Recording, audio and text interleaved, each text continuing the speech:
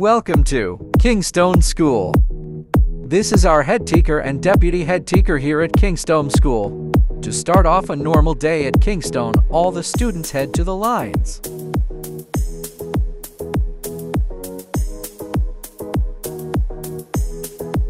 In this class, Mr. T.O. Kane is teaching Year 8 History.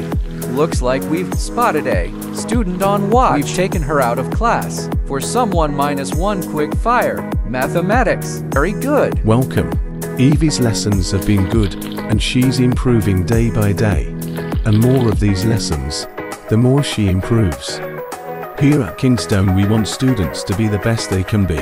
Whoa! Look at the time. It's break time. Students head to the canteen for some yummy snacks.